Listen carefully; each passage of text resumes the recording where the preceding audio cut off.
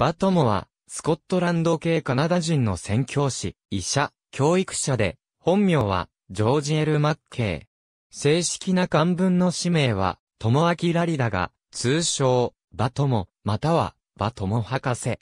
1871年に、カナダ長老派教会ミッションとして、台湾へ移住し、翌年により、淡水鎮を中心に、キリスト教の宣教を始めた。そして1880年までの間に、淡水、五湖、苗栗、台北、キールン、新築などに20以上の教会を設立した。その後もギラン、カレンなどの台湾原住民の居住地へ赴き、台湾北部を積極的に布教を行った。台湾南部を同様に医療宣教をしたジェームズ・マックスウェル氏と共に、台湾キリスト長老協会の生みの親。1878年に台湾女性の長俊明と結婚。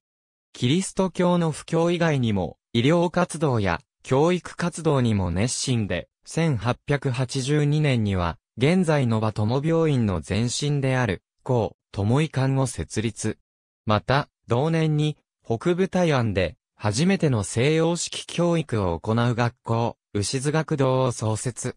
2年後の1884年には、女性教育のための女学堂を創設し、台湾の女子教育の先駆けとなった。牛津学堂1896年には、当時の台湾総督であった、野木マレスケの訪問を受ける。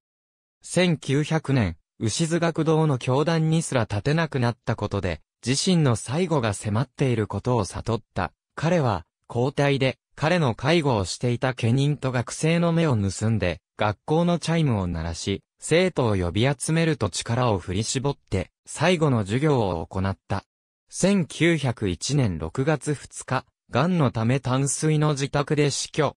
台湾における医療への貢献度は高く、今もなお、キリスト教徒以外の台湾人からも、バトモ博士と呼ばれ、親しまれている。ありがとうございます。